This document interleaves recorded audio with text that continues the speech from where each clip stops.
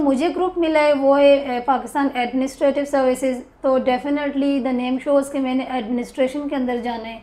और एडमिनिस्ट्रेशन के अंदर जितनी भी एक डिस्ट्रिक्ट लेवल पे एडमिनिस्ट्रेशन है, वो उसको मैंने परसू करना है। अच्छा इंटरव्यू के मराहल बहुत ज़्यादा कठिन होते हैं और बहुत ज़्यादा ऐसे स्टूडेंट्स हैं जो कि एग्ज़ाम्स क्लियर कर लेते हैं और उसके बाद इंटरव्यू में फ़ेल हो जाते हैं।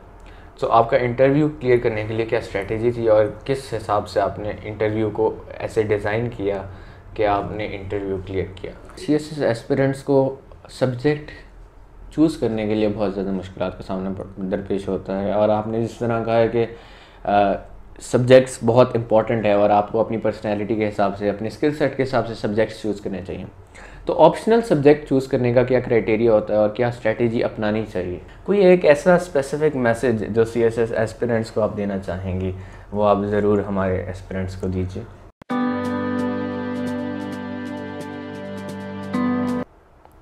या तो आप सीएसएस की तैयारी का सोच रहे हैं या फिर आपने सीएसएस की तैयारी शुरू कर दी है तभी तो आपने इस वीडियो पे क्लिक किया है। Welcome to C S S unofficial और मेरा नाम है जुनेद आरिफ और आज आपकी मुलाकात करवाने जा रहे हैं बशारत शाह से। एक ऐसे स्टूडेंट के जिन्होंने सीएसएस का इम्तहान क्लियर किया है। इनकी स्टोरी जानेंगे। तो सबसे पहले Basharat welcome to C S S on official thank you अपने बारे में थोड़ा सा हमारे व्यूअर्स को बताइए और मुझे भी बताइए कि क्या पर्सनैलिटी टाइप्स हैं और किन किन रास्तों से गुजर के आप जो है वो यहाँ तक पहुँची आपने बता दिया कि मेरा नाम बशारत शाह है। हम्म। मैं के पी के से बिलोंग करती हूँ और के पी के में मैं डिस्ट्रिक्ट बटरग्राम से बिलोंग करती हूँ। ये एक ऐसी जगह है जहाँ पे ना सिर्फ़ फीमेल एजुकेशन कम है, बल्कि मेल एजुकेशन भी इट्सल्फ बहुत ज़्यादा कम है। Literacy rate as a whole बहुत ज़्यादा कम है। तो इस प्लेस से मैंने एक अपने माइंड के अंदर इंस्पिरेशन ली कि मैंने अपने जो एक कॉन्सेप्ट है एजुकेशन के लिहाज से उसको मैंने चेंज करना है। मैंने एक सीएसएस की तरफ़ अपनी थॉट प्रोसेस जनरेट की और Today I am here landed in my desired to Pakistan Administrative Services. CSS के बारे में हम मज़ीद तो आगे बात करेंगे लेकिन मैं जानना चाहूँगा कि जिस तरह आपने बताया कि के पी के से आपका ताल्लुक है तो वहाँ पे एक स्टिग्मा इन्वॉल्व है कि वहाँ पर फीमेल एजुकेशन को इतना ज़्यादा इनक्रेज नहीं किया जाता। तो कोई ऐसा कॉन्फ्लिक्ट या कोई ऐसा हर्डल जो आपने फेस किया हो? अच्छा मैं पर्सनली सेमी कंजर्वेटिव फैमिली से बिलोंग करती हूँ। हमारी पठान फैमिली है जहाँ पे गर्ल्स हम्म। एजुकेशन बहुत ज़्यादा है। लेकिन जो मेरी अपनी इमीजिएट फैमिली है वो इस रिगार्ड से बहुत ज़्यादा ऑप्टिमिस्ट है। वहाँ गर्ल्स एजुकेशन को बहुत ज़्यादा एम्पावर किया जाता है। उनको ये चीज़ के अंदर उनको ये बिल्कुल सपोर्ट सिस्टम बहुत अच्छा है कि हम्म। जो एजुकेशन हासिल करना चाहती हैं तो वो कर सकती हैं और मैं उसकी एक लिविंग एग्ज़ाम्पल हूँ। अच्छा कहा जाता है कि बचपन से हम लोग जो है वो ख्वाब देखते हैं और हर बच्चा जो है वो बचपन से ख्वाब देखना शुरू करता है। तो क्या शुरू से ही आपने सी का ख्वाब देखा था? शुरू से ही अगर हो उसको अगर मैं बहुत ज़्यादा प्रिसाइज कर दूँ तो मेरी ये स्कूल लेवल पे था। क्योंकि मैंने बेसिक एजुकेशन जब ली तो ऑब्वियसली आपकी एक अंडरस्टैंडिंग डेवलप हो जाती है। और मेरी जो इंस्पिरेशन थी वो मेरी एल्डर सिस्टर थी। She cracked C S S back in 2013 तो हम्म। उस वक्त मेरे सामने एक एग्ज़ाम्पल थी कि हाँ एक ये भी एक डोमेन है जिसमें आप एक्सेल कर सकते हो। और जो मेरी पर्सनल इंक्लिनेशन थी वो एडमिनिस्ट्रेशन की तरफ़ थी। तो उनको देख के मेरे उसी वक्त ये माइंड में मिशन था कि मैंने इस अपने गोल को परसू करना है। मैंने इसी से रिलेटेड ग्रेजुएशन करनी थी बट अनफॉर्चुनेटली uh, वो थोड़े मैंने स्विच कर दी मेडिकल की तरफ़। hmm. लेकिन आफ्टर दैट जब मैंने ग्रेजुएशन को कंप्लीट कर दिया तो मैंने स्विच किया दोबारा अपने uh, जो डिज़ायर्ड मेरी गोल uh, था मेरी इंस्पिरेशन थी। और आज मैंने, अल्हम्दुलिल्लाह, मैं उसमें सक्सेसफुल हूँ और मैंने अपना गोल अचीव कर लिया है। अच्छा आपने जिस तरह बताया कि बचपन से ही आपने गोल अपना सेट कर लिया था कि आपने सीएसएस करना है। और ऐसा हमारे माशरे में बहुत कम होता है क्योंकि बच्चे बहुत बड़े हो जाते हैं यूनिवर्सिटी में इवन कि ग्रेजुएट हो जाते हैं और उसके बाद तक उन्हें नहीं पता होता है कि उन्होंने कौन सी फ़ील्ड अडॉप्ट करनी है या किस तरफ़ जाना है या किस डायरेक्शन में जाना है। आपके सिनेरियो में कौन सी ऐसी चीज़ें थी जिन्होंने सबसे ज़्यादा रोल प्ले किया आपकी डिसीज़न मेकिंग में? Of course family is a one aspect of it तो हाउ डू यू थिंक कि फैमिली स्पेसिफिकली कितना रोल प्ले करती है आपकी डिसीज़न मेकिंग में? फैमिली का बहुत डिसाइसिव रोल होता है आपकी डिसीज़न मेकिंग के अंदर आपकी प्लानिंग के अंदर और उस प्लानिंग को अचीव करने के अंदर.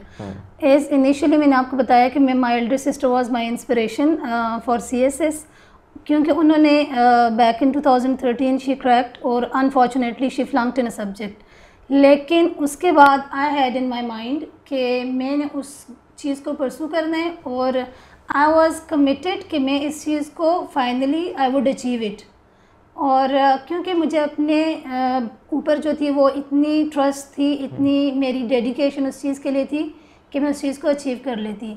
सेकंड थिंग इज़ दैट मैं पर्सनली भी एक डिसाइसिव पर्सन हूँ। मैंने अपने करियर के अंदर अपनी डिसीज़न मेकिंग खुद ली है क्योंकि बहुत सारे ऐसे डिसीजंस हैं जो आपको खुद लेने पड़ते हैं एट सम लेवल जाके। क्योंकि मैंने जब अपनी ग्रेजुएशन कंप्लीट की उसके बाद मैंने एक डिसीज़न लिया कि मैंने लाहौर आना है सी एस एस प्रिपरेशन के लिए। अब इसमें जो पॉजिटिव चीज़ थी वो थी मेरा फैमिली का support system they all the support उन्होंने मुझे सपोर्ट किया। मॉरली फाइनेंशियली जितना भी वो कर सकते थे। और उन्होंने मुझे लाहौर भेजा। लाहौर में मैंने स्टे किया मैंने वहाँ पे तैयारी की और यहाँ से ही मैंने एग्ज़ाम दिए।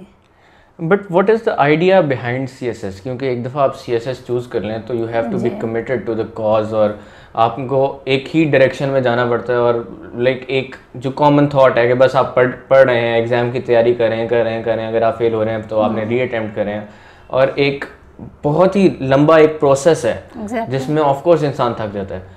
लेकिन हर प्रोसेस के स्टार्ट करने से पहले एक थॉट होती है। तो वो क्या एक थॉट होती है जो इंसान को इस बात में मजबूर कर देती है कि इतना लंबा जो प्रोसेस है वो उसको गुजार ले और उसको इंड्योर कर ले?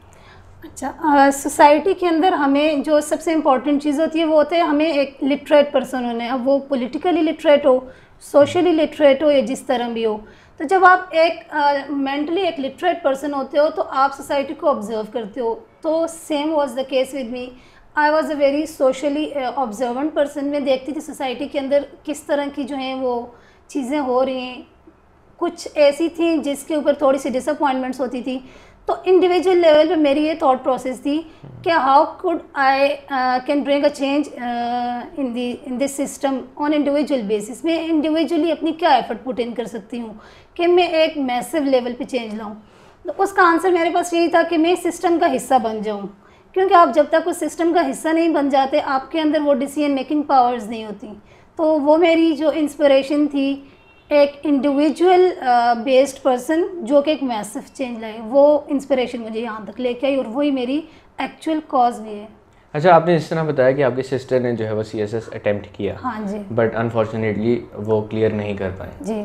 तो ये क्या व्हाट वाज दिस एक रिडेम्पशन वाला सीन था कि हाँ जी अब उन्होंने नहीं क्लियर किया तो मैं तो करके दिखाऊँगी। व्हाट वाज इट ये, ये क्या वो मोटिवेशन क्या थी? व्हाट वाज द थॉट जब बिल्कुल इनिशिएट किया कि नहीं this is the path I am going to choose नहीं it was never a competition exactly actually जो मेरी इसके uh, जो बैक एंड पे चीज़ थी वो ये थी कि this is something to be achieved वो she had attend good marks वो she was flunked in a subject only वो कर सकती थी but she was married immediately after her exam तो वो चीज़ ये थी कि मैं अगर अपनी कैपेसिटी में इसको कर सकती हूँ और ये एक अच्छी फ़ील्ड है एडमिनिस्ट्रेटिव मेरी फैकल्टीज़ थी जो मुझे अपने अंदर दिखती थी।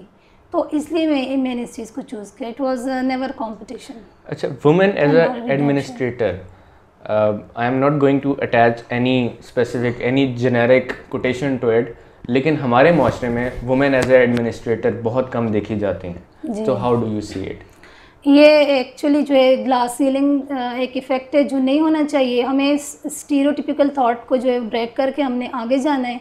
और I think I am the ice breaker मैंने एक डिसीज़न लिया और मैंने आज सोसाइटी को मैंने एक लिविंग एग्जांपल दी है कि फ़ीमेल कैन भी एडमिनिस्ट्रेटिव्स और बहुत सारी ऐसी एग्जांपल्स हैं और भी।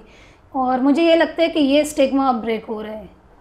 Yes no doubt about it ये स्टिग्मा वाकई ब्रेक हो रहा है। uh, अब हम आपके मज़ीद जो पहले इनिशिएट जिस तरह आपने किया सीएसएस की तैयारी जो शुरुआत की वो क्या प्रोसेस है कि एक एक ले मैन आपको देख रहा है जो एक सी एस एस एस्पिरेंट आपको देख रहे हैं जो कि सी एस एस करना चाहते हैं बट उनको नहीं पता दे आर लॉस्ट कि सी एस एस की तैयारी का आगाज़ कैसे किया जाए। उनके बारे में आप क्या कहेंगे उनको क्या एडवाइस देंगी? अच्छा मैंने जब स्टार्ट किया था तो मुझे इनिशियली कुछ टीचर्स मिले थे। मैं मैंने किप्स अकेडमी ज्वाइन की थी। और उसमें मुझे एक टीचर मिले थे इंग्लिश के। उन्होंने मुझे सजेस्ट किया कि आप किप्स ज्वाइन कर लो। तो you would have a great experience है तो मैंने वही थॉट कि फिर मैंने अकेडमी ज्वाइन कर दी और पिशावर में मैं क्योंकि थी? वो प्लेस मुझे इतनी अच्छी नहीं लगी वहाँ का जो अकेडमिक सेटअप था। तो मैंने लाहौर मूव कर लिया। लाहौर के अंदर जब मैं आई तो आपको पता है अकेडमी के अंदर एक प्रॉपर एक मशरूम ग्रोथ ऑफ़ स्टूडेंट्स होती है। वहाँ पे एक अकेडमी कल्चर है प्रॉपर तो उसके अंदर मैं अपनी जगह नहीं बना पा रही थी मैं अपने आप को एक मिसफिट समझ रही थी अकेडमी के अंदर हाँ जी हम्म। तो वहाँ पे जब आप आ, एक मिशन के लिए निकलते हो तो वो क्या एक पॉलो कोयलो कहते हैं कि when you go for something good तो everything in the world conspires in your favour तो इसी मेरे फेवर में भी ये एक कंस्पायरिंग चीज़ आई हम्म। कि मुझे स्टेप बाय स्टेप मुझे ऐसे टीचर्स मिलते गए जिन्होंने मुझे अपनी एक माइलस्टोन अचीव करने में हेल्प किया। और उनमें सबसे बड़ा नाम जो है सर एजाज का है। During my compulsory subjects preparation I met him and I found him a great person indeed वो no doubt. uh, मतलब मैं उनको जितना भी अप्रिशिएट करूँ इट्स बियॉन्ड वर्ड्स में अल्फाज में उनको नहीं कर सकती because I have seen his dedication not towards me only but towards all his students he helps his students beyond any interest कोई वो अपनी फुल डेडिकेशन से स्टूडेंट्स को हेल्प आउट करते हैं। और यही चीज़ जो बेसिक डिफरेंस है अकेडमी के अंदर और जो एक मेंटोर आप पकड़ लेते हो कि अकेडमी आपको तब ऑन करती है जब आप सक्सेसफुल होते हो। वरना तो आप एक उस मशरूम ग्रोथ का हिस्सा हैं हम्म। जिसमें आपकी कोई रिकग्निशन नहीं है। जो आपका मेंटोर होता है वो आपको उस वक्त ऑन करते हैं जब आप कुछ भी नहीं होते और वो आपको इस चीज़ की एक ट्रस्ट बिल्डिंग कराता है कि नहीं you can achieve it you have the potential और ये सारी जो एक इंकरेजमेंट uh, थी ये सारी एक माइंड मैपिंग मैपिंग थी जो सर ने मेरे साथ की और मैं at the end of the day I landed what is the main highlight of your whole journey इतना लंबा जो आपके प्रिपरेशन से लेकर आपके सी का एग्ज़ाम क्लियर करने तक की जो जर्नी है। इस सब की जो एक हाईलाइट है कोई इंटरेस्टिंग मोमेंट या something you have been through कोई एक ऐसा बैरियर जो आपने क्रॉस किया और you are like really proud of it वो क्या ऐसे सिनेरियो क्या है? एक इंटरेस्टिंग सिनेरियो है। मैंने सितंबर के एंड में I decided to opt Punjabi हालाँकि आई एम पख्तून पर्सन मैं पठान बैकग्राउंड से बिलोंग करती हूँ और मैंने पश्तो को एज अ सब्जेक्ट मैंने प्रिपेयर किया था। और मैं बिल्कुल उसके ऑल ऑफ़ अ सडन मैं बिल्कुल ऑल टुगेदर एक डिफरेंट डायरेक्शन के अंदर चली गई थी। पंजाबी मेरा लैंग, मेरी लैंग्वेज नहीं है और मुझे वो आती भी नहीं है। और जो एक रिटन राइट अप जो होता है आपने हम्म। लिखना होता है पंजाबी के लिए उसके अंदर एक मेच्योर पंजाबी जो होती है वो आपको मार्क्स गेन कराती है। उसके लिए मैंने बड़ी एफ़र्ट की मैंने अपने जितने पंजाबी दोस्त थे उनसे हेल्प ली। और पंजाबी की अल्फ़ाबेट्स को उनके जितना भी उसकी डिक्शनरी है वो चीज़ें मैं अपने दोस्तों के साथ कंसल्ट की और विद इन अ मंथ मैंने पंजाबी को प्रिपेयर कर दिया था और अल्हम्दुलिल्लाह मैंने पंजाबी में सेवेंटी प्लस स्कोर किए हैं। Wow that is a story that is a story indeed यहाँ यहाँ पे आपने बात की सब्जेक्ट की चूज़ करने की। जो एक नए सी एस एस एस्पेरेंट होता है उसके जहन में ये सवाल भी बहुत ज़्यादा जन्म लेता है कि कौन से सब्जेक्ट्स ऐसे हैं जो उसकी फेवर में होंगे और वो उसके कौन से सब्जेक्ट्स चूज़ करने चाहिए? तो आपने अपने सब्जेक्ट्स कैसे चूज़ किए और एक क्या क्राइटेरिया होता है कि आपको अपने हिसाब से किस तरह सब्जेक्ट चूज़ करने चाहिए? अच्छा सब्जेक्ट सिलेक्शन जो होती है वो बहुत इंपॉर्टेंट पार्ट होती है। जब आप सी के अंदर आपने एक फ़र्स्ट स्टेप रखा होता है। तो और अकेडमी का इसमें एक बेनिफिट है, वो ये होता है कि वो आपको सब्जेक्ट सिलेक्शन के ऊपर थोड़ा सा गाइड कर देती है।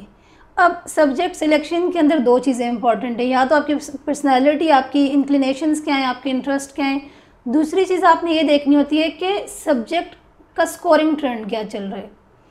तो ये दो चीज़ें जो होती हैं वो आपको आगे बहुत सारी बैरियर्स क्रॉस करने में हेल्प आउट करती हैं। आपका रिटर्न का स्कोर बहुत ज़्यादा इम्प्रूव करती हैं। हम्म, सही है। अच्छा अकेडमी कल्चर की जिस तरह आपने बात की तो academy culture versus personal mentoring of course आपने पर्सनल मैंटोरिंग को ज़्यादा चूज़ किया है।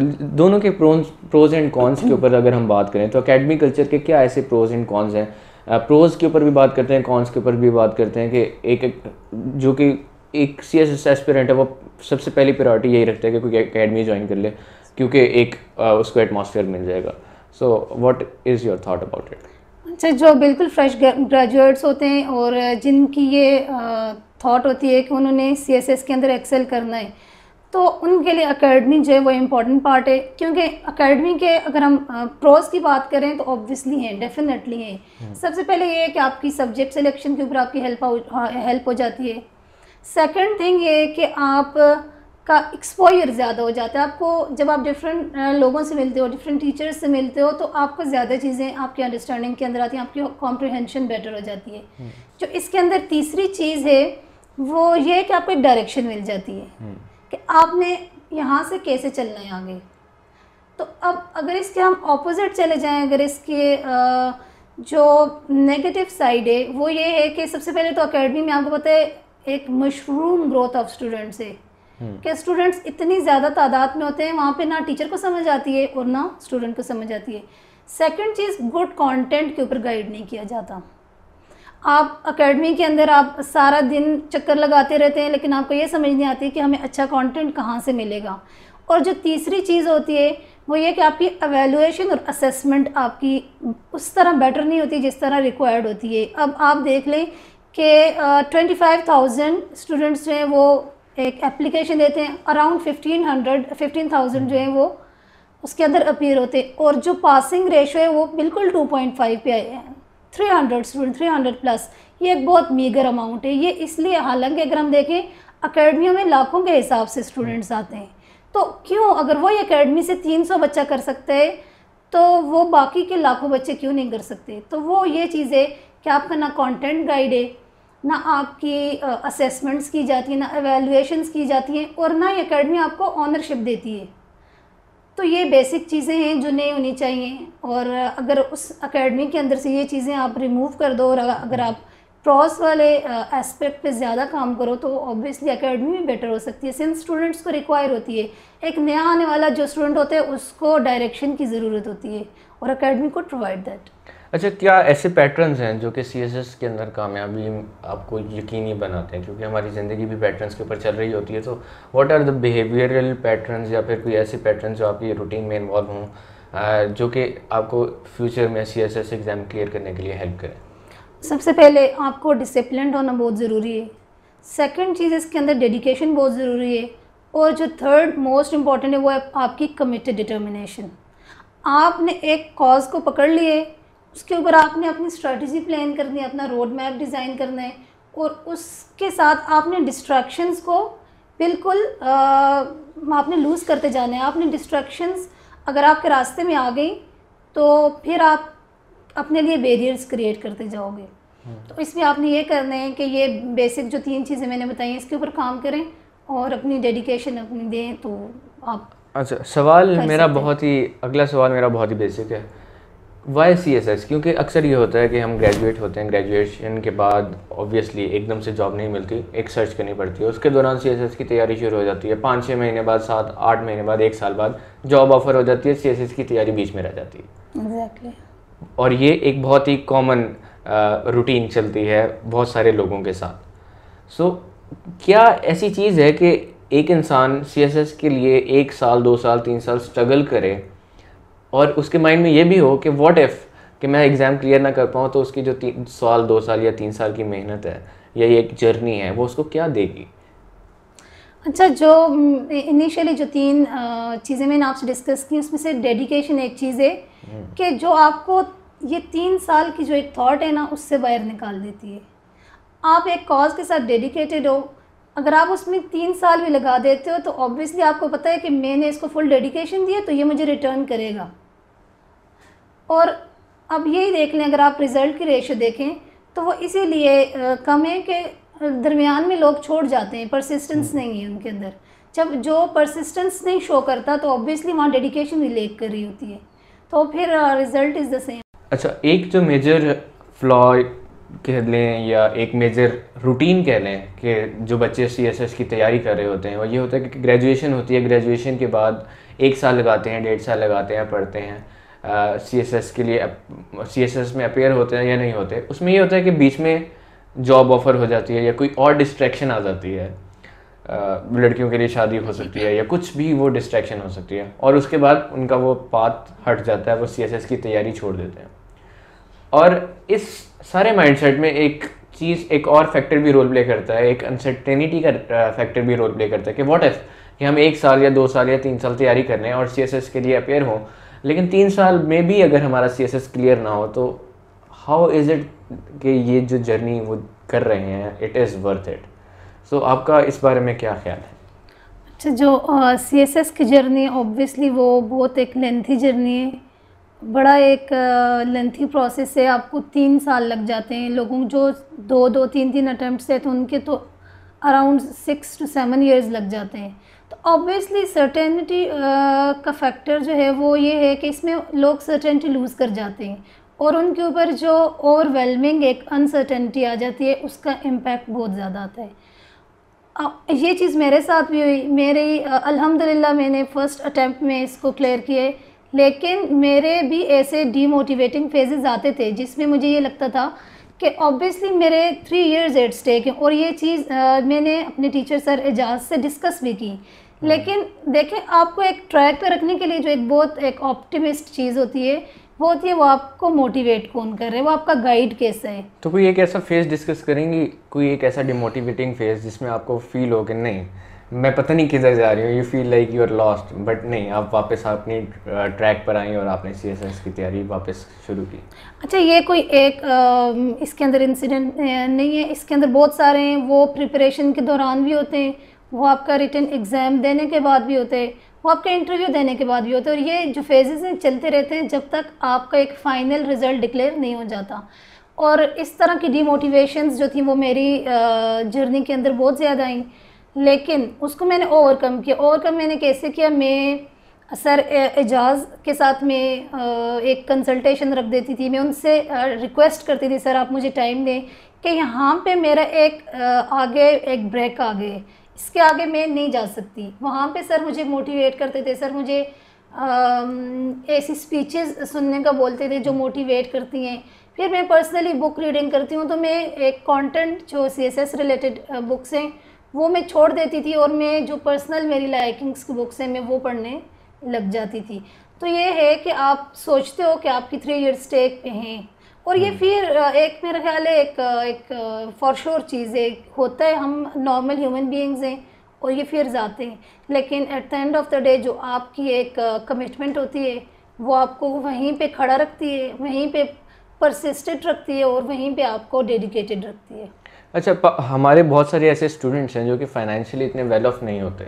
और ग्रेजुएशन के बाद स्पेसिफिकली स्टूडेंट्स भी और उनके पेरेंट्स भी वो एक्सपेक्ट करते हैं कि वो फाइनेंशियली सपोर्ट करेंगे अपनी फैमिली को भी और ख़ुद को भी। और एक जो बर्डन है वो लिफ्ट ऑफ़ होगा।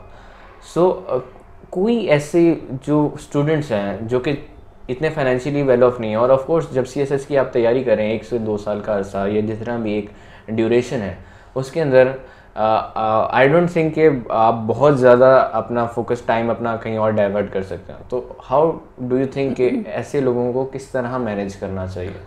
हम्म, इसके अंदर जो आप अपना फुल ऑन टाइम देंगे वो आप रिटर्न प्रिपरेशन को ज़रूर दें क्योंकि वो रिटर्न आपकी डेस्टिनी डिटर्मन करता है। जब आप रिटर्न एग्ज़ाम दे रहे हो तो एटलीस्ट आपको अपने एक साल जो है वो फॉरसेक करना पड़ेगा। आप जब रिटर्न एग्ज़ाम दे देते हो उसके बाद यू कैन गो आप कोई भी जॉब को ले सकते हो आप कोई एक अपना जो वो टाइम है उसको एक पॉजिटिवली आप स्पेंड कर सकते हो क्योंकि इंटरव्यू प्रिपरेशन जो होती है वो बिल्कुल एक साल की बाद होती है। अच्छा एक और क्वेश्चन मैं आपसे करना चाहूँगा और बहुत ही इंपॉर्टेंट क्वेश्चन है। सी एस एस करने के लिए अखबार पढ़ना ज़रूरी है? ज़रूरी नहीं है। क्योंकि हम लोगों के अंदर ना ये चीज़ एक थॉट हमारी माइंड्स के अंदर इंट्रंच कर दी है कि नहीं अखबार पढ़ोगे तो सी डेफिनेटली अखबार एक इंपॉर्टेंट एलिमेंट है, लेकिन वो एक स्टेज आती है जब उसको आपने पढ़ना है। उससे पहले आपको अगर एक बेसिक नॉलेज नहीं है C S S related subjects की तो आपको इतने आप एडवांस लेवल पे कैसे चले जाओगे? तो हर चीज़ के लिए हमें स्टेप बाय स्टेप जाना होता है। हर एक स्टेयर क्रॉस करनी होती है, एक स्टेप क्रॉस करना होता है। तो सी एस एस के लिए भी यही है। अब मैं जब इनिशियली आई थी तो मैं भी न्यूज़पेपर्स के पीछे मैंने लोगों से जैसे सुना था। लेकिन जब सर एजाज ने मुझे गाइड किया कि नहीं हमारी जो स्ट्रेटजी होगी वो थोड़ी सी डिफरेंट होगी और फॉर्चुनेटली सर के साथ में uh, मेरा इंटरेक्शन बहुत जल्दी हो गया था जिससे मुझे बड़ा बेनिफिट किया। तो सर ने मुझे सब्जेक्ट बेस्ड नॉलेज के ऊपर फोकस कराया कि आप अपना पहले सब्जेक्ट का जितना भी कंटेंट है एटलीस्ट वो रीड करो। जो न्यूज़पेपर होती है वो कॉम्प्लीमेंट्री होती हम्म। है। वो उसको कॉम्प्लीमेंट करती है और वो आपके ओपिनियन को ज़्यादा इन्हांस करती है। तो ये एक ज़रूरी चीज़ है जो लोगों को समझनी चाहिए। अच्छा इसी को हम आगे लेके चलते हैं और आपकी ज़रा स्ट्रैटेजीज क्रैक करने की कोशिश करते हैं कि किस तरह आपने सी एस एस क्रिएट किया ताकि हमारे व्यूअर्स और सी एस एस एस्पिरेंट्स जो हैं उनको भी हेल्प हो। आ, सबसे पहले तो मैं ये पूछना चाहूँगा कि एक इंग्लिश का जो सब्जेक्ट होता है इंग्लिश लैंग्वेज का जो सब्जेक्ट होता है उसके अंदर सबसे ज़्यादा क्वीरीज आती हैं स्टूडेंट्स की और उसमें बहुत ज़्यादा स्टूडेंट्स फेल भी होते हैं और बहुत अच्छे तरीके से उसको कर नहीं पाते। और यू बीइंग फ्रॉम लाइक आपका ताल्लुक के पी के से है और आपने किस तरह इस डिफ़िकल्टी को जो है वो डील किया? अच्छा इंग्लिश जो है वो बड़ा एक इंपॉर्टेंट पिलर है सी एस एस एग्ज़ामिनेशन का। अब इसके अंदर आपने ट्वेल्व पेपर्स देने और सारे के सारे आपने डेफिनेटली इंग्लिश में देने। तो उसके लिए आपकी इंग्लिश को एक मेच्योरिटी लेवल उसका होना बहुत ज़रूरी है। अब हमारा प्रॉब्लम क्या होता है जो स्टूडेंट्स अकेडमीज़ के अंदर आते हैं तो उनकी बेसिक इंग्लिश बहुत ज़्यादा वीक होती है। और वहाँ पे पढ़ाया जाती है एडवांस टेक्निक तो स्टूडेंट्स जो होते हैं वो वहाँ पे उस चीज़ के साथ उसकी कंपेटिबिलिटी नहीं बनती। हम्म। तो यही सबसे बड़ी जो है एक कॉज बनती है इतना बड़ा जो फेलियर रेशो है पाकिस्तान के अंदर। और मैंने इसको कैसे किया मैं क्योंकि मैं बुक रीडिंग करती हूँ सिंस मैं स्कूल में थी तो हम हम नावल्स इंग्लिश नावल्स की मेरी बहुत ज़्यादा हैबिट थी। तो वो चीज़ जो थी उसने कहीं बैक ऑफ़ द चैनल मेरी इंग्लिश को एक लेवल ऑफ़ मेच्योरिटी दिया था। ये अनकॉन्शियस था अनकॉन्शियसली था क्योंकि मुझे इस चीज़ की अवेयरनेस uh, नहीं थी कि मैं जब लिख सकती हूँ तो वो अच्छा हो सकता है। तो जब मैं फ़ील्ड uh, के अंदर आई जब मैंने स्टडी करना स्टार्ट किया तो ऑब्वियसली कंटेंट जब मुझे मिल गया और जब मैंने उसको एक्सप्रेस करना शुरू कर दिया तो एक्सप्रेशन के अंदर मेरा वो चीज़ दिखती थी। और ये चीज़ मुझे रियलाइज़ कराई टीचर्स ने मेरे और ये बेसिकली मेरा एक रोड मैप था जिससे मैं चली। तो क्या लिखने की भी शौकीन है? कुछ लिखा इंग्लिश में कुछ शायरी कोई something like something of your own शायरी तो मैं इतना ज़्यादा नहीं लिखती लेकिन ये होता है कि जब अगर मैं ट्रैवल कर रही हूँ हम्म। तो मैं अपने पास एक ट्रैवल डायरी है मैं उसमें वो चीज़ें लिख देती हूँ। तो वो तो ऑब्वियसली आपकी एक पर्सनल स्पेस के अंदर हम्म। होती है। लेकिन ये है कि जब मैंने सी एस एस का एग्ज़ाम दे दिया तो सर एजाज की गाइडेंस से मैं मैंने लिखना स्टार्ट किया और मैं न्यूज़पेपर के लिए भी आर्टिकल्स लिखती हूँ और मैंने जहांगीर वर्ल्ड टाइम्स के लिए भी मैंने आर्टिकल्स लिखे हैं। इंग्लिश में लिखते हैं उर्दू में लिखते हैं? इंग्लिश में इंग्लिश में। इंग्लिश में लिखते हैं। अच्छा टेकिंग दिस फॉरवर्ड आजकल जो यंग जनरेशन है उसका किताबों से बहुत ज़्यादा लगाव नहीं है। exactly. हम फेसबुक या इंस्टाग्राम या सोशल मीडिया जो भी है उसके ऊपर हमारा अटेंशन स्पैन बहुत कम हो गया है कि हम बस थ्री लाइनर वन लाइनर पढ़ते हैं और उसके बाद उसको स्किप कर देते हैं। और एक जो पूरी फुल फ्लेज बुक है वो जो टाइम मांगती है जो इन्वेस्टमेंट मांगती है आपके टाइम का आपके इमोशंस का आपके एक पूरे रूटीन का वो हम नहीं दे पाते और वो थोड़ा सा पढ़ के उसके बाद उसको छोड़ देते हैं।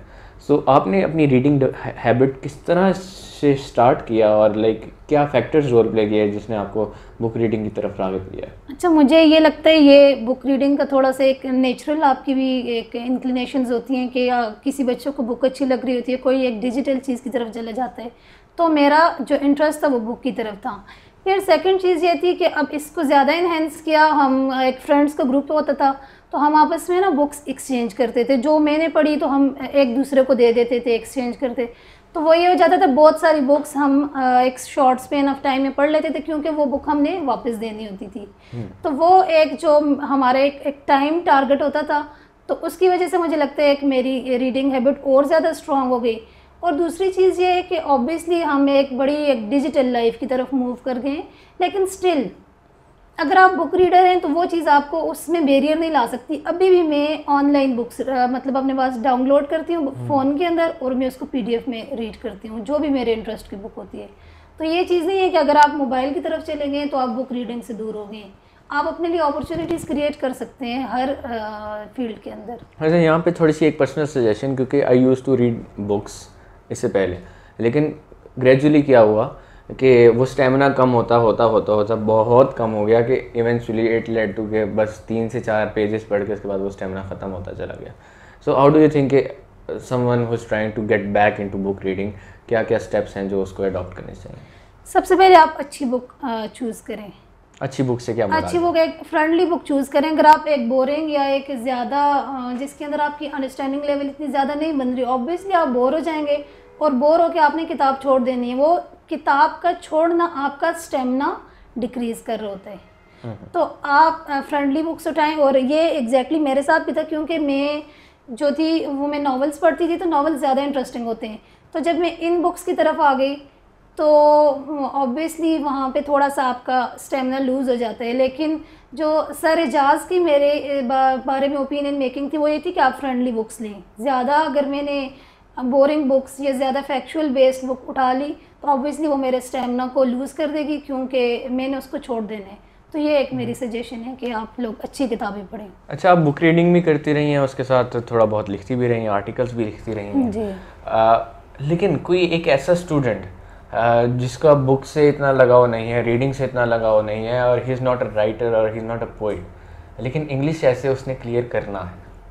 सो वो कैसे क्लियर करेगा? उसके लिए देखें बेसिक आ, कुछ रिक्वायरमेंट्स हैं आपकी ग्रामेटिकली करेक्ट इंग्लिश होनी चाहिए। अब ग्रामेटिकली करेक्ट इंग्लिश किस तरह हो सकती है? वो आपकी बेसिक स्ट्रॉन्ग है तो ऑब्वियसली वो हो जाएगी। अब होता ही है कि जब सी एस एस लेवल पे जो बच्चे आते हैं तो वो ग्रामर एंड कॉम्पोजिशन का जब पेपर प्रिपेयर कर रहे होते हैं तो वो एक एडवांस लेवल की स्टडी को छोड़ के वो बेसिक वो टेंसेज और इस तरह की चीज़ें वो स्टडी करना स्टार्ट कर देते हैं। ऑब्वियसली वो भी आपका बहुत सारा टाइम एब्जॉर्ब कर लेती है। तो होना ये चाहिए कि जब आप लोग सीएसएस की तैयारी के अंदर आ रहे हैं तो ऑब्वियसली आप एक साल, दो साल पहले तो आप सोचते हैं ना, उसके दौरान आप लोग ये कोशिश करें, ये मेरी एक सजेशन है कि आप अपनी बेसिक इंग्लिश इम्प्रूव करके आएँ। आगे ऐसे पास करना मुश्किल नहीं है ऐसे की एक प्रॉपर टेक्निक है, और उसको आप फॉलो करें, एक पूरा पैटर्न है ऐसे का। वो चीज़ आपको पिन पॉइंट्स पे मतलब आ जाती है विद इन अ लेक्चर अगर उन टेक्निक्स को आप फॉलो करें, आप रेलेवेंट रहें, आपके आइडियाज़ हैप नो कनेक्टिविटी हो आइडियाज़ की तो ऑब्वियसली वो चीज़ एग्ज़ामिनर को अपील करती है। तो अच्छा राइटर होना या अच्छा पोइट होना, ये इस चीज़ के साथ कहीं भी कनेक्टेड नहीं है कि आप ऐसे पास नहीं कर सकते। ऐसे पास करना is a very simple thing it's a very easy deal to do अच्छा अभी हमने इससे पहले अखबार की बात की कि अखबार पढ़ना बहुत ज़्यादा अहम नहीं है, इतना जितना बनाया गया है सीएसएस पास करने के लिए। लेकिन देन अगेन पाक स्टडीज़ का पेपर आता है और हमने पीटीवी की वही पुरानी बुक्स पढ़ी हुई हैं जिसमें सो कॉल्ड सोशल स्टडीज़ पढ़ाई जाती है और पाकिस्तान की हिस्ट्री सो कॉल्ड पढ़ाई जाती है। डू यू थिंक कि ये जो इतना नॉलेज है, एक बच्चा जो सिर्फ़ पीटीवी की बुक्स पढ़ते, पढ़ता आ रहा है और उसके बाद उसने इंटर किया है और वही, उसी तरह का एक पैटर्न जो है वो स्टडीज़ का चलता आ रहा है, वो जो सारा नॉलेज बिल्डअप हो रहा है is it enough to clear Pak studies का paper in C S S नहीं बुक्स देखें बुक्स की तो ज़रूरत ही नहीं है ना। अगर आप बुक्स पढ़ते हैं तो वो एक एडिशनल चीज़ है। बुक से तो पेपर आउटराइटली नहीं आता। जो पेपर आते है, आप रिसेंट रिसर्च आर्टिकल्स देखें, लोगों ने इतना काम किया है, वो चीज़ जो आप न्यूज़पेपर के अंदर देख रहे हैं न्यूज़पेपर के ऊपर आपको हार्डली एक आर्टिकल में एक ओपिनियन मिलेगा। अगर वो चीज़ आप जाके किसी अच्छे रिसर्च रिसेंट रिसर्च आर्टिकल के अंदर देख रहे हैं तो डेफिनेटली वहाँ पे उसकी बेसिक्स होंगी वहाँ पे उसके अंदर ओपिनियंस भी होंगी उसकी डिफरेंट डायमेंशंस होंगी। तो सारा वन इन ऑल पैकेज आपको जो है वो उस एक रिसर्च आर्टिकल के अंदर आपको मिल सकते हैं। सारी चीज़ें आपको एक कॉम्पैक्ट प्लेस पे मिल जाएँगी। तो न्यूज़पेपर फिर आप एडिशनली आप पढ़ें जो कॉम्प्लीमेंट। करे कोई एक अच्छा ओपिनियन कोई फैक्ट आपको मिल जाए कोई फिगर मिल जाए जो आप उसके साथ उसको एक टॉपिंग होती है ना टॉपिंग के हम्म। लिए वो चीज़ ज़रूरी है। सो so, फर्दर और वेज क्या हैं जो एक सीएसएस स्टूडेंट के लिए कि वो पाक स्टडीज़ का पेपर को बेहतर तरीके से अटैम्प्ट कर सके? अच्छा इसके लिए आप लोगों ने रेलिवेंट होना बहुत ज़रूरी है। हम स्वीपिंग स्टेटमेंट्स पास करते हैं पेपर के अंदर। आपका जो किसी भी जो स्टूडेंट है सीएसएस के अंदर अगर वो कोई भी पेपर कर रहे अगर वो पाकिस्तान अफेयर है करंट अफेयर है एस का पेपर है इवन आपने रेलेवेंसी नहीं छोड़नी। आप जब डाइग्रेशन के अंदर चले जाते हैं डाइग्रेशन क्या है? क्वेश्चन और होता है। क्वेश्चन की अंडरस्टैंडिंग ही नहीं है। और आंसर कुछ और होता है। और हर जो स्टेटमेंट होती है उसके साथ जस्टिफिकेशन ले कर रही होती है। हम्म। जब तक जब तक आप किसी चीज़ को जस्टिफाई नहीं करते तो वो चीज़ उस तरह इम्पैक्ट क्रिएट नहीं करती एग्जामिनर के ऊपर। तो अपना जस्टिफिकेशन लेवल अपनी ओपिनियंस को स्ट्रॉन्ग रखें। ऑब्वियसली जब आप मल्टीपल सोर्सेज को पढ़ते हैं, अच्छे रिसर्च आर्टिकल्स पढ़ते हैं, अच्छी बुक्स पढ़ते हैं तो वो बिल्डअप हो जाती हैं। अच्छा यहाँ पर हमारी बहुत सारी बात हो रही अच्छी बुक्स के ऊपर। और अच्छी बुक्स से आपने मुराद लिया कि लाइक पहले भी हम बात कर रहे थे कि जिसको बुक्स पढ़ने का इतना ज़्यादा आदत नहीं है, वो ज़रा फ्रेंडली बुक्स पढ़े। लेकिन देन अगेन अगर सीएसएस की हम बात करें सीएसएस की हमने तैयारी करनी है तो उसके लिए तो हमें वो बुक्स पढ़नी पड़ेंगी डिस्पाइट कि मैंने पाक स्टडीज़ का पेपर क्लियर करना है मेरे उसमें है नहीं मेरा उसमें इंटरेस्ट है या नहीं है। तो ऐसे सिनेरियो में how do you think I can achieve अच्छा पाकिस्तान अफेयर से जो रिलेटेड बुक्स थी वो मैंने रिटर्न के बाद पढ़ी हैं। मैंने रिटर्न से पहले नहीं पढ़ी। वाह मेरा जितना भी फोकस था वो सारे रिसर्च आर्टिकल्स के ऊपर था। आपको वहाँ पे बहुत सारी बुक्स मिल जाती हैं। उनके अंदर से चैप्टर्स की जितनी ओपिनियंस होती हैं वो उसके अंदर आपको मिल जाती हैं। बुक्स का जो टाइम होता है आप जो एक सीएसएस का आप अपना टाइम स्पेंड रखते हो तो उसके अंदर आप आ, को ये सोचना चाहिए कि मैं स्मार्ट वर्क कैसे कर सकता हूँ। ये हार्ड वर्क नहीं है ये हार्ड वर्क के साथ स्मार्ट वर्क भी है। आपने अपना टाइम को प्रोडक्टिव बनाना और कम से कम टाइम में ज़्यादा से ज़्यादा काम लेने अगर आप 400, 300, 500 की बुक पढ़ने बैठ जाते हैं और आपका सारा दिन उसमें निकल जाते हैं आप उसी से रिलेटेड कोई अच्छे रिसर्च आर्टिकल्स उठाओ तो वो आपको ज़्यादा प्रोडक्टिविटी दे सकते हैं। As compare to a lengthy book जिसमें हर तरह का चैप्टर होता है वो डिफरेंट डायमेंशंस की बुक्स होती हैं। तो वो उससे मुझे ये लगता है कि ये चीज़ ज़्यादा सूटेबल है। अच्छा अगर हम करंट अफेयर्स की बात करते हैं अखबार की भी हमने बात कर ली पाक स्टडीज़ की भी बात कर ली। सो करंट अफेयर्स का कितना इन डेप्थ नॉलेज होना ज़रूरी है? क्या हमें वाकई पता होना चाहिए कि लाइक जिम्बाब्वे का तीसरा सदर कौन था? या लाइक जेनेरिक क्वेश्चंस एक माइंड में आते हैं कि यार, आपको पूरी दुनिया के बेसिक बेसिक जो सदरों के नाम और उसके बाद parliaments and main main majority events का पता होना चाहिए in depth in depth knowledge होनी चाहिए हर एक चीज़ की पूरी दुनिया में जो जो हो रहा है। So how do you think it is relevant with reference to current affairs अच्छा इसमें आपको फिर ये चीज़ होती है कि आप ना बहुत सारे मीडिया प्लेटफॉर्म्स के साथ कनेक्टेड रहे। अब मैं सी एन एन देखती थी न्यूयॉर्क टाइम्स को पढ़ाई पढ़ती थी फॉरेन अफेयर्स मैगजीन में पढ़ती थी। अब ये वो चीज़ें, जब मैं अगर अपनी कोर्स रिलेटेड कंटेंट से मैं बोर हो जाती थी तो मैं थोड़ा सा न्यूज़ देख ली। तो वो चीज़ें करंट अपडेट आपको देती रहती हैं। उसके अंदर ये कोई रॉकेट साइंस नहीं है कि अगर ब्राज़ील के प्रेसिडेंट का मैंने नाम याद कर दें तो उसके लिए मुझे पढ़ना ही पड़ेगा। वो आपकी ऑब्जर्वेंस लेवल है कि आप कितनी ऐसी पर्सनैलिटी हैं जो चीज़ों को ऑब्ज़र्व कर रही है और वो ऑब्जर्वेशन रिटेन भी कर रहे हैं साथ। तो ये चीज़ें डिवेलप हो जाती हैं ऐसा ऐसा जब आप एक फ़ील्ड के अंदर आते हो। इसके अंदर आप काम करना स्टार्ट करते हो आपके इंटरेस्ट डेवलप हो जाते हैं और इंटरेस्ट आपको करंट अपडेट के साथ कनेक्टेड रखते हैं so, और वो connectivity what you are saying here is कि cramming is not the way to clear की सीएसएस नॉट रियली यस अच्छा तो ये जो जिनको क्रैमिंग इजी लगती है जो कि उसको in depth detail like research की तरफ़ नहीं जाना चाहते जो किसी चीज़ को कुरेजना नहीं चाहते और सिर्फ़ याद करना चाहते हैं और याद करके लिखना जानते हैं और वो अच्छा कर भी लेते हैं और बहुत सारे स्टूडेंट्स ऐसे जो है वो अच्छे मार्क्स और अच्छे ग्रेड्स लेते रहे so what is your take on this thought अच्छा अगर हम 2016 से पहले देखें तो थी क्रैमिंग का फैक्टर था सी के अंदर। लेकिन हम्म। अगर आप अब देखें पेपर बहुत ज़्यादा एनालिटिकल कर दिए। बिल्कुल आ, वो चीज़ सेलेबस से तो होती है लेकिन नहीं भी होती। मतलब उसके अंदर आप उस सब की अंडरस्टैंडिंग जब आप पेपर के अंदर बैठ जाते हो तो वो सारा ओपिनियन बेस्ड वो आपको किसी एक स्पेसिफिक बुक से नहीं मिलेगा या आपने कोई टॉपिक प्रिपेयर किए। उसके ऊपर आपकी वास्ट वास्ट नॉलेज चाहिए जब आप पेपर अटैम्प्ट कर रहे हो।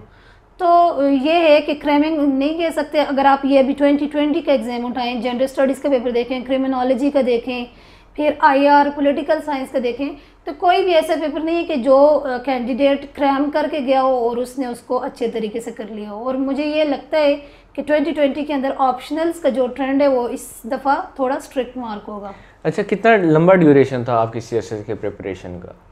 मैंने फेबररी 2018 में मैंने ग्रेजुएट कर लिया था उसके बाद मैंने सून आफ्टर माय ग्रेजुएशन मैंने अकेडमी ज्वाइन कर ली थी किप्स हम्म। और हाँ। थ्री मंथ्स की मैंने अकेडमी ली थी उसके बाद मैंने उसको छोड़ दिया था क्योंकि कुछ ऑप्शन सब्जेक्ट्स थे जिनकी अंडरस्टैंडिंग मेरी अकेडमी में नहीं बन रही थी तो वो मुझे वेस्ट ऑफ़ टाइम लग रहा था वहाँ पे। तो मैंने आ, फिर सर एजाज के साथ अपनी एक स्ट्रेटजी प्लान की और आ, मेरा ख्याल है जुलाई का मंथ था। हम्म। जुलाई से मैंने अपनी प्रॉपर प्रिपरेशन करना स्टार्ट कर दी थी और दिसंबर में मैंने मॉक्स दे दिए थे। So almost like it's seven to eight seven to eight maximum nine nine months का। तो इन नाइन मंथ्स के दौरान जो है आपने कितने घंटे पढ़ा? क्योंकि एक आ, सबसे पहला सवाल यही पॉपअप होता है जो सी के लिए नया नया तैयारी करने के लिए स्टार्ट हो रहा है कि इतने घंटे पढ़ना लाजमी है। छः घंटे अपने साइड पे रख लो पूरे दिन के और उसमें आपने बस पढ़ना ही पढ़ना। है तो अच्छा, ये कि, इसमें कितनी सच्चाई है? मैंने ऑब्वियसली जो सी एस एस ये बड़ा एक लेंथी सा प्रोसेस है इसका पढ़ना भी बहुत ज़्यादा वास्ट है नॉलेज बेस्ड बहुत ज़्यादा तो ऑब्वियसली टाइम डिमांडिंग तो है लेकिन इसके अंदर फिर एक डिफरेंट फैक्टर ये है कि अब जो कोई बंदा कहते हैं छः घंटे आठ घंटे दस घंटे तो ये हर बंदे की पर्सनल कैपेसिटी है। अगर मुझे कोई क्वेश्चन चार घंटे के अंदर अ, याद हो रहे हैं हो सकता है किसी दूसरे कैंडिडेट को ना हो रहे हो वो उसमें छः घंटे लेता हो। या मैं ज़्यादा टाइम लेती हूँ। तो ये हर बंदे की अल्लाह ताला ने एक सेपरेट कैपेसिटी रखी है। तो आप हर बंदे के लिए दस घंटे नहीं डिक्लेयर कर सकते कि दस घंटे बैठने हो सकते हैं। मुझे किसी सब्जेक्ट के लिए बारह घंटे उतना पढ़ना हो जितने में कोई और स्टूडेंट छः या सात घंटे में वो काम कर सकता हो। तो इस सात से आठ से नौ माह के दरमियान आपके रिलेशनशिप्स कैसे अफेक्ट हुए हैं? क्योंकि आप पढ़ रहे हो और एकदम से आपके दोस्त की कॉल आती है कि हम लोग हैंगआउट्स करने जा रहे हैं।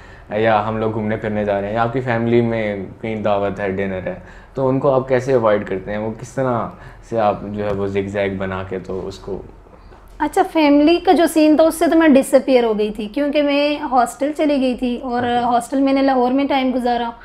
और ऑब्वियसली हॉस्टल का लाइफ भी इट सेल्फ चैलेंजिंग था लेकिन उसने एट सम पॉइंट मुझे जो घर की जो इंगेजमेंट्स थी उनसे दूर कर दिया था।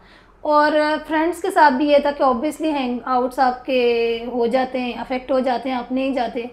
तो वो कहा जाता है ना कि आपने अगर कोई बड़ा अचीव करना है तो आप डिसअपियर हो जाओ और जब सामने आओ तो आपकी सक्सेस आए। और सेम हैपन विद मी कि जब मेरा रिज़ल्ट आया तो जितने मेरे फ्रेंड्स थे सबको पता चला और उनका यही था कि आपने बड़ा ब्लास्ट किया हम पे। तो ये है कि सक्सेस को आप इंस्पायरिंग लेकिन इस दौरान anxiety depression mental health problems because आप बस कॉन्स्टेंटली अपने लाइक कॉज के ऊपर काम कर रहे हैं और you are constantly like working hard और आप उस दौरान कुछ और नहीं कर रहे। अच्छा इसमें मैं दो लोगों को बहुत क्रेडिट दूँगी जिनको मैंने अ, क्योंकि होता है ना ऐसे बाउट्स ऑफ़ डिप्रेशन आते हैं आपके ऊपर। तो वो दो लोगों ने इसमें मेरा बड़ा सपोर्ट सिस्टम बने। एक तो मेरे पेरेंट्स मेरी सिस्टर्स और एक सर एजाज। मतलब जब मैं ऐसा कोई डीमोटिवेटिंग फ़ेज़ में चली जाती तो मैं सर को फ़ौर फ़ोन कर देती सर नहीं पढ़ा जा रहा।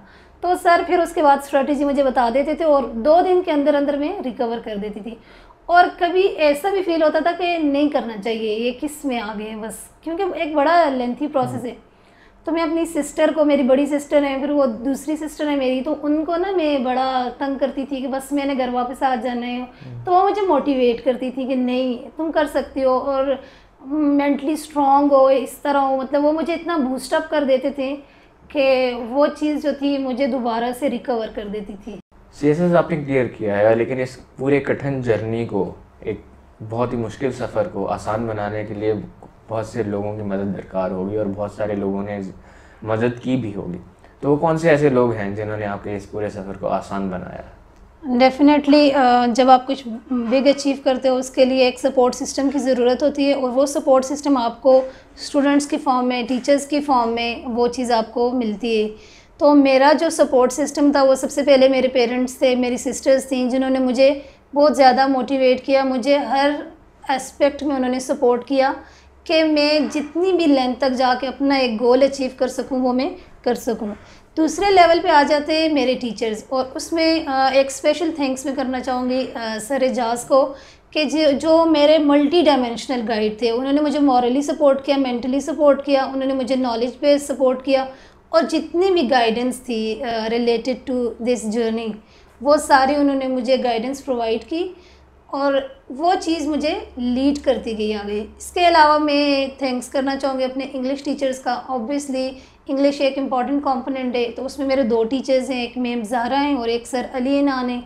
ये दो टीचर्स बहुत इंपॉर्टेंट रहे हैं मेरी जर्नी के अंदर, क्योंकि इनके साथ मेरे इंटरेक्शन रहा है रिलेटेड टू माई वर्क और इसके अलावा जो मेरे टीचर हैं, पेशावर में sir Atiq he is a great teacher indeed में वो एक स्पेशल थैंक्स बोलना चाहूँगी उनको क्योंकि वो भी एक टीचर थे जिन्होंने मुझे इनक्रेज किया था कि you can be a holder in the C S S examination वो ऑब्वियसली सर्टन रीजंस है जिसमें थोड़ा सा मुझे एक अनफॉर्चुनेट सिचुएशन हुई लेकिन कि मैं वो टॉप स्लॉट से नीचे आ गई लेकिन at the end of the day I did good I landed in my desire group Pakistan administrative services अल्हम्दुलिल्लाह और इसके अलावा जो लास्ट में मैं थैंक्स करना चाहूँगी मैं अपने कोलीग्स को करना चाहूँगी अपने दोस्तों को करना चाहूँगी अपने बैचमेट्स को करना चाहूँगी जिन्होंने मुझे बहुत ज़्यादा हेल्प आउट की ड्यूरिंग इंटरव्यू प्रिपरेशन और जितनी भी मेरी एक जर्नी रही है उसमें जितना भी मेरा सपोर्ट सिस्टम था आ, उस उन सब का मैं एक स्पेशल थैंक्स करना चाहूँगी। अच्छा नेक्स्ट जो मेरा आपसे सवाल होगा वो यही है कि सी एस एस एस्पिरेंट्स को सब्जेक्ट चूज़ करने के लिए बहुत ज़्यादा मुश्किल का सामना दरपेश होता है। और आपने जिस तरह कहा है कि सब्जेक्ट्स बहुत इंपॉर्टेंट है और आपको अपनी पर्सनैलिटी के हिसाब से, अपने स्किल सेट के हिसाब से सब्जेक्ट्स चूज़ करने चाहिए। तो ऑप्शनल सब्जेक्ट चूज़ करने का क्या क्राइटेरिया होता है और क्या स्ट्रेटेजी अपनानी चाहिए? अच्छा इसमें ऑप्शनल्स के जो सब्जेक्ट्स होते हैं, उसके अंदर ग्रुपिंग्स की भी, हर ग्रुप से आपको सब्जेक्ट्स उठाने पड़ते हैं।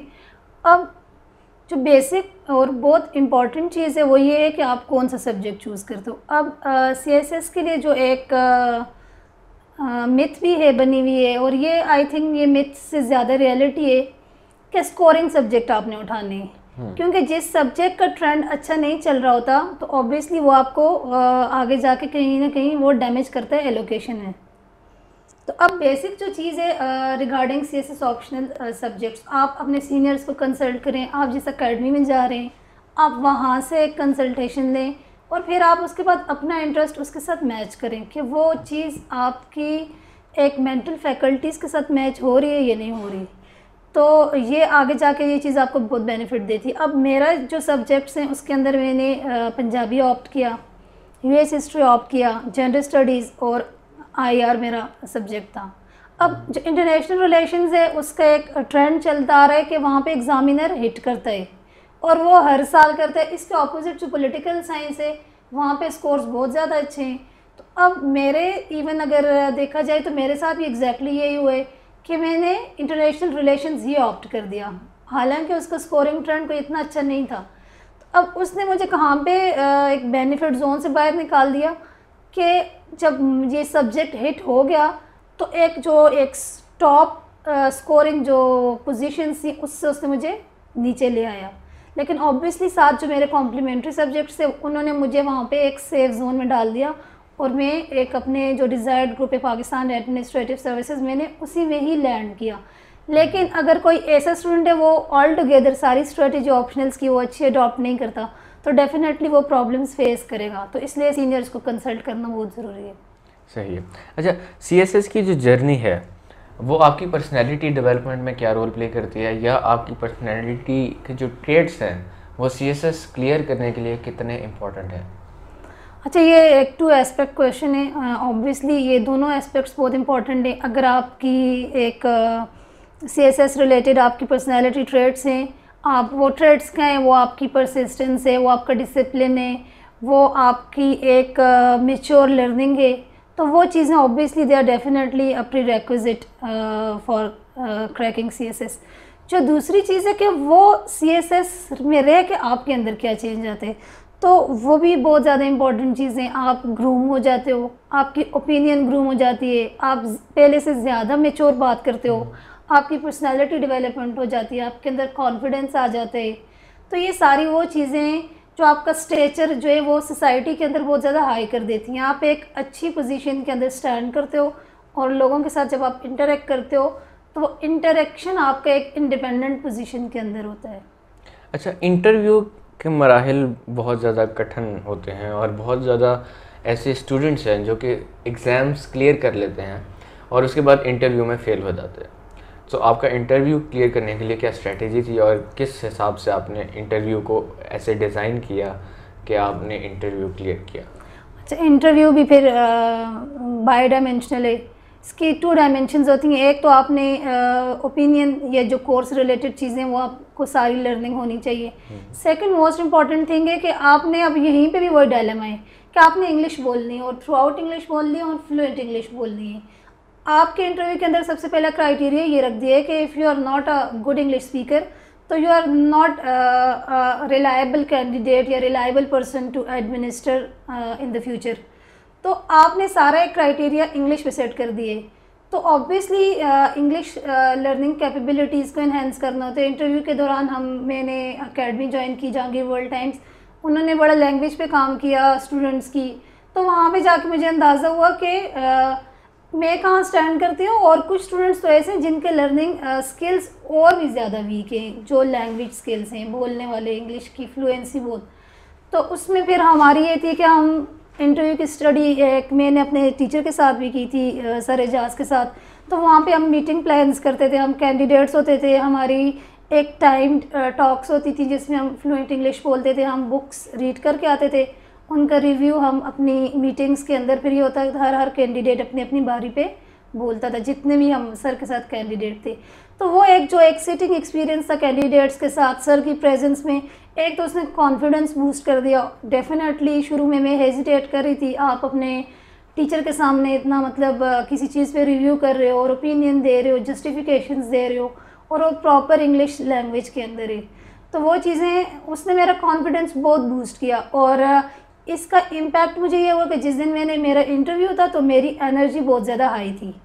और उसने मुझे बहुत बेनिफिट किया इंटरव्यू के दौरान और मैंने बहुत अच्छा सा अपना इंटरव्यू जो है वो कंडक्ट किया। So it's all about basically कि how do you prepare for your interview अच्छा तो अब बहुत ज़्यादा सी एस एस एस्पिरेंट्स हमारी सोसाइटी में मौजूद हैं और बहुत ज़्यादा लोगों का ख्वाब होता है कि वो सी एस एस क्लियर करें और एक ब्यूरोक्रेटिक पोजीशन पे आएँ और एक एडमिनिस्टर करें। बिकॉज़ बहुत ज़्यादा पर्क्स इन्वॉल्व होते हैं इस जॉब में। अच्छा बेसिक रोल क्या होता है? एक, जब सी एस एस आप क्लियर कर लेते हैं और उसके बाद आपकी एलोकेशन हो जाती है थोड़ा एलोकेशन के प्रोसेस प्रोसेस को ज़रा एक्सप्लेन करें और उसके बाद क्या क्या ऐसे रोल्स हैं जो कि आपको मिल सकते हैं और आपको कौन कौन सी रिस्पॉन्सिबिलिटीज़ दी जा सकती हैं, उसके ऊपर ज़रा रोशनी डालें। अच्छा इसके अंदर जो एलोकेशन का प्रोसेस है, इसके अंदर ट्वेल्व ग्रुप्स हैं। और ये ग्रुप्स टॉप डाउन लेवल पे हैं। अब उसमें हर ग्रुप की अपनी एक रिस्पॉन्सिबिलिटी है और अपनी एक डोमेन है जिसमें उसने सर्व करना है। जो मुझे ग्रुप मिला है वो है पाकिस्तान एडमिनिस्ट्रेटिव सर्विसेज़ तो डेफिनेटली द नेम शोज़ कि मैंने एडमिनिस्ट्रेशन के अंदर जाना है। और एडमिनिस्ट्रेशन के अंदर जितनी भी एक डिस्ट्रिक्ट लेवल पे एडमिनिस्ट्रेशन है वो उसको मैंने परसू करना है। और आई थिंक ज़्यादा नॉलेज मुझे जब मैं फ़ील्ड के अंदर चली जाऊँगी और ज़्यादा मेरी एफिशिएंसीज़ हैं, ये जितनी मेरी रिलेटेड टू माय प्रोफेशन मेरी नॉलेज है, वो ज़्यादा इन्हेंस हो जाएगी। हम उम्मीद करते हैं कि इसी तरह आप हमारे नेशन के लिए काम करें और पाकिस्तान की वेलबिंग के लिए काम करती रहें। कोई एक ऐसा स्पेसिफिक मैसेज जो सी एस एस एस्पिरेंट्स को आप देना चाहेंगी, वो आप ज़रूर हमारे एस्पिरेंट्स को दीजिए। जितने भी young C S S aspirants हैं, उनके लिए मेरी यही एक मैसेज है और ये सजेशन है कि आप अपने कॉज के साथ, अपने गोल के साथ कमिटेड रहें और अपनी जो डिसिप्लिन एंड डेडिकेशन है, उसको कभी भी किसी डिस्ट्रैक्शन का हिस्सा ना बनाए। आपकी लाइफ में स्ट्रगल होगी। आपको सी एस एस जर्नी के अंदर बहुत सारी एक स्ट्रगलिंग फेसेस का सामना होगा, लेकिन उन स्ट्रगलिंग फेजेस को आपने ओवरकम करना है। उस उसको ओवरकम करना है और उससे आप लोगों ने डिस्ट्रैक्ट नहीं होना। क्योंकि अगर हम देखें हिस्ट्री में जितने भी बिग अचीवर्स हैं, उनकी बिग स्ट्रगल्स हैं, उन्होंने बड़े बड़े बेरियर्स को, उन्होंने बड़े बड़े बेरियर्स को क्रॉस किए और उन बैरियर्स को क्रॉस करने के बाद जाके उनको उनकी स्ट्रगल हासिल हुई है। लेनी थैंक यू सो मच आपने हमें टाइम दिया और बहुत ही अच्छा इंटरव्यू आपके साथ गुजरा है और मैं उम्मीद करता हूँ कि जितने भी सी एस एस एस्पिरेंट्स हमारे हमें देख रहे हैं उनकी कुछ क्वेरीज कुछ सवाल और उनके जवाब उनको ज़रूर मिले होंगे। आप ज़िंदगी में कुछ भी करने निकलेंगे तो परेशानियाँ या ऑब्स्टिकल्स ज़रूर आएँगे लेकिन उन उन ऑब्स्टिकल्स को क्रॉस करना है और घबराना नहीं है। आपसे मुलाकात होगी अगली वीडियो में। तब तक के लिए अल्लाह हाफ़